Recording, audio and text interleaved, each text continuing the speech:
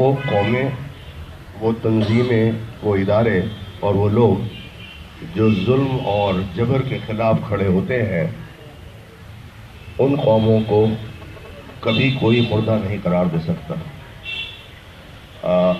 میں بہت ہی مبارکباد دیتا ہوں جماعت اسلامی کو، جمعیت العلماء کو، جنہوں نے کل ایک بہت بڑا پروگرام بنایا اور مختلف سیاسی پارٹیوں کو بھی کہ وہ سب ایک پلیٹ فارم پر جمع ہوئے اور ظلم کے خلاف اپنی آواز بلند کرنے کی یہاں کوشش کی ہے۔ فلسطین کا مسئلہ ابھی آپ نے سنا بھی ہے، لوگوں نے بتایا بھی ہے۔ اور اس کی تفصیل میں جانے کی ضرورت نہیں ہے جو کہ بہت سارے مقررین ہیں۔ لیکن ایک مختصر خاکہ صرف یہ ہے کہ جب مجاہدین فلسطین نے یہ ارادہ کیا کہ اب سوویت یونین کے انہیار کے بعد جب سوویت یونین ختم ہو گیا تھا، اس کے بعد ہمیں اپنی آزادی کے لیے ایک دوسرا راستہ اختیار کرنا چاہیے جو پرامن راستہ ہو۔ تو یاسر عرفات اور اسحاق رابین جو وہاں کے وزیر اعظم تھے، آپس میں ملے اور انہوں نے یہ طے کیا کہ ہم دو ملک بنائیں گے، ایک اسرائیل رہے گا اور ایک فلسطین۔ اس قرارداد کے تحت فلسطینیوں نے، اور کوئی اور نہیں کر سکتا تھا، وہ صرف یاسر عرفات ہی کر سکتے تھے کہ اٹھتر پرسنٹ جو ایریا تھا، انہوں نے کہا کہ ہم موافق ہیں کہ آپ جہاں قابض ہیں، اس میں رہیے لیکن انیس سو سڑسٹھ میں جس ایریے کو آپ نے قبضہ کیا ہے، ہم اس میں فلسطین بنائیں گے۔ امریکہ اور مغربی طاقتیں اس میں گارنٹر بنی اور گارنٹی یہ دی گئی کہ جب تک کوئی فیصلہ نہیں آتا، حالت، وضع جو ہے، وہ اسی طرح رہے گی۔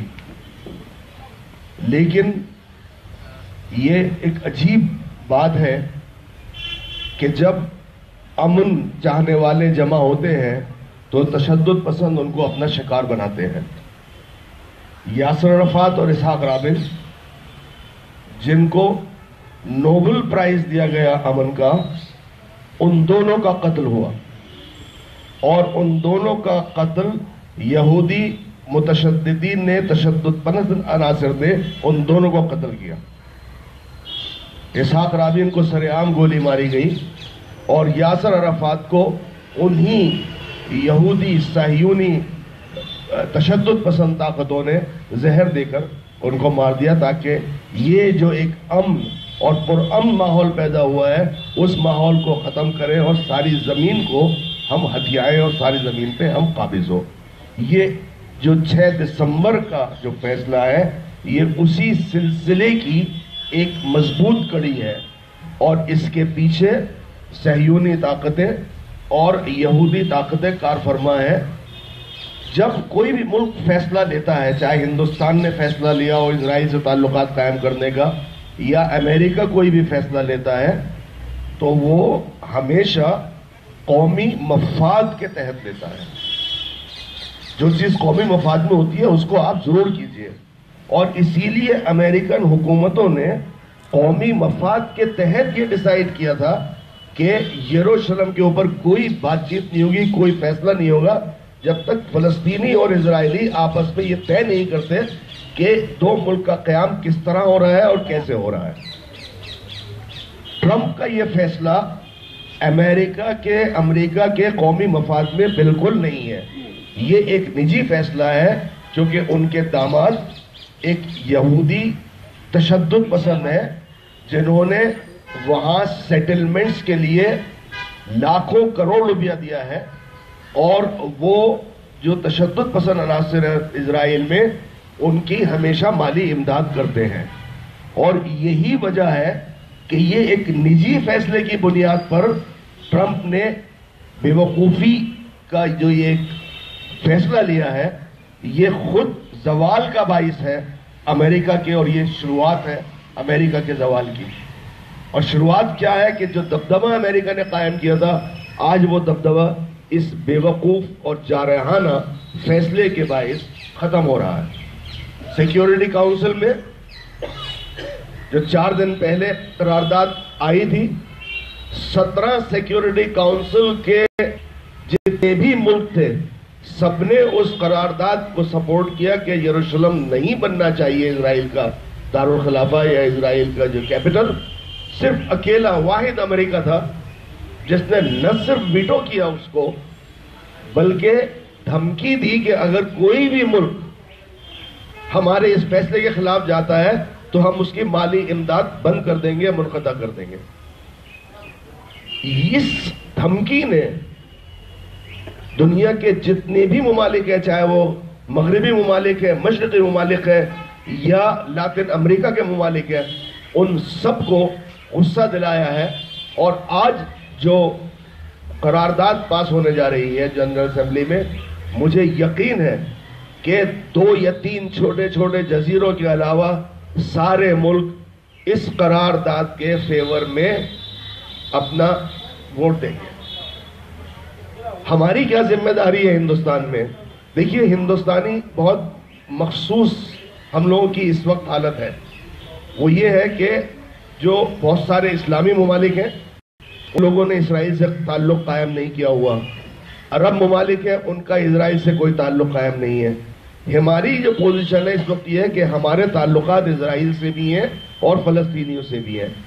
اس لیے ہماری یہ ذمہ داری بنتی ہے کہ ہم بحیثیت مسلم ہی نہیں، بلکہ بحیثیت ایسی قوم جو آزاد پسند ہے، جو غلامی سے نجات حاصل کرنا چاہتی ہے، ہم لوگ اپنی آواز بلند کریں اور یہ بتائیں کہ یہ جو ناجائز آپ نے ایک قرارداد منظور کی ہے ایک فیصلہ کیا ہے، ہندوستان کے دو سو کروڑ مسلمانوں کے ساتھ ساتھ جو اور باقی قومیں ہیں یا اور باقی مذاہب کے لوگ ہیں، وہ سب ایک سیکولر فورس ہے اور وہ اس ظلم اور اس جبر کے خلاف اکیلے کھڑے ہوئے ہیں۔ اور چاہے وہ دنیا کا کوئی بھی ملک ہو قوی ترین ملک ہو، ہم ایسے ناجائز حرکتوں کو نہیں مان سکتے ہیں۔ جمعیت العلماء کے کل کے اجلاس میں یہ طے کیا گیا کہ جمعے کا دن جو ہے وہ احتجاجی مظاہرے ہوں گے۔ کیوں ہوں گے؟ احتجاجی مظاہرے اس لیے کہ الاقصہ مسجد تیسرا تیسری بڑی مسجد ہے اسلام میں اور قبلہ اول ہے۔ اس لیے ہمارا فرض بتا حیثیت ہندوستانی مسلمان، کیونکہ ہمارے تعلقات اس ملک سے بھی ہے اور ملکوں سے نہیں ہے اور ملکوں کے اسرائیل سے نہیں ہے کہ ہم اپنا حق جتائیں کہ یہ ہماری مسجد ہے اور یہ ہمارا تیسرا سب سے بڑا اور سب سے پاک جگہ ہے۔ جس طرح ہم لوگ مکہ مکرمہ اور مدینہ منورہ جاتے ہیں، حج کے لیے جائیں، عمرہ کے لیے جائیں، عمرہ بیت المقدس کا ضروری ہے۔ عمرہ کا مطلب ہوتا ہے کسی پاک جگہ میں جا کے عبادت کرنا، یہ عمرہ کا اصل مطلب ہے۔ عمرہ بیت المقدس کا واجب ہے ہمارے لیے۔ ہم لاکھوں کی تعداد میں سعودی عرب جا رہے ہیں، لیکن ہم نے بیت المقدس کو بالکل ایک طرف کر دیا ہے۔ اگر ہندوستان کے مسلمان بیت المقدس جانا شروع کر دیں، تمام عالم کو یہ بات معلوم ہوگا کہ یہ عربوں کا جھگڑا نہیں ہے۔ یہ فلسطینیوں کا جھگڑا نہیں ہے، بلکہ یہ پورے عالم اسلام کا جھگڑا ہے۔ وہ لوگ صرف اس چیز کو ثابت کرنا چاہتے ہیں کہ صاحب یہ فلسطینیوں کا، اسرائیل کا جھگڑا ہے، اس میں کوئی اور نہ پڑے۔ نہیں ہمارے لیے اہم یہ ہے کہ ہم اس ملک میں جانا شروع کریں اور اپنا حق جتائیں، اپنی ان پاک صاف اور اپنے ان اسلامی ہیریٹیج کا اور اسلامی مساجد کا، جن کا جانا ہمارے اوپر فرض ہے اور واجب ہے۔